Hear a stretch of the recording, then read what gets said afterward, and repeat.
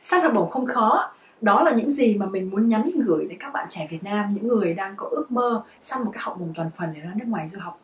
Các bạn biết không với hơn 6 năm kinh nghiệm là người hướng dẫn săn học bổng cho rất nhiều bạn trẻ Việt Nam những người đạt được những cái học bổng toàn phần ở trên rất là nhiều trường đại học lớn ở khắp nơi trên toàn thế giới thì mình nhận thấy là à, rất là nhiều bạn trẻ Việt Nam có một cái hiểu nhầm rất là sai. Đó là các bạn thường nghĩ rằng là chỉ có những bạn nào mà có bộ hồ sơ rất là khủng khiếp à, có rất nhiều thành tích học tập rồi là điểm chuẩn hóa mọi thứ rất là cao thì mới săn được những cái học bổng toàn phần.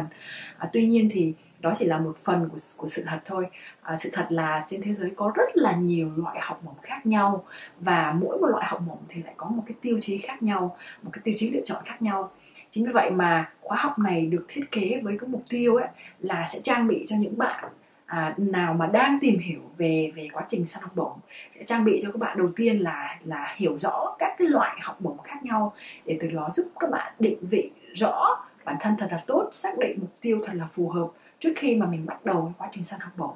Đồng thời thì khóa học này cũng sẽ trang bị cho bạn những cái kỹ năng cơ bản và cần thiết trong cái việc là hoàn thành một cái bộ hồ sơ săn học bổng như thế nào. Ví dụ như là viết cv resume như thế nào cho phù hợp. Ví dụ như là làm thế nào để viết một bài luận, một bài SOP